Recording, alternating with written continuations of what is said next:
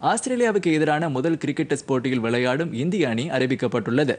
ஆஸ்திரேலியாவில் சுற்றுப்பயணம் மேற்கொண்டுள்ள இந்திய கிரிக்கெட் அணி டெஸ்ட் போட்டி ஒரு நாள் மற்றும் இருபது ஓவர் போட்டிகளில் பங்கேற்று விளையாடி வருகிறது. ஒருநாள் போட்டித் தொடரில் ஒன்றிற்கு இரண்டு என்ற கணக்கில் தோல்வி அடைந்த இந்திய அணி இருபது ஓவர் போட்டியில் இரண்டிற்கு ஒன்று என்ற கணக்கில் வெற்றி பெற்றுள்ளது. நான்கு டெஸ்ட் போட்டிகளில் இந்திய அணி விளையாட உள்ளது. நாளை முதல் டெஸ்ட் போட்டி தொடர் தொடங்க உள்ளது. ஆஸ்திரேலியாவில் அடிலைட் மைதானத்தில் பகலிரவு ஆட்டமாக போட்டி நடைபெறுகிறது. இந்நிலையில் டெஸ்ட் போட்டி தொடரில் பங்கேற்க உள்ள இந்திய அணி வீரர்களின் பட்டியலை பிசிசிஐ இன்று வெளியிட்டுள்ளது.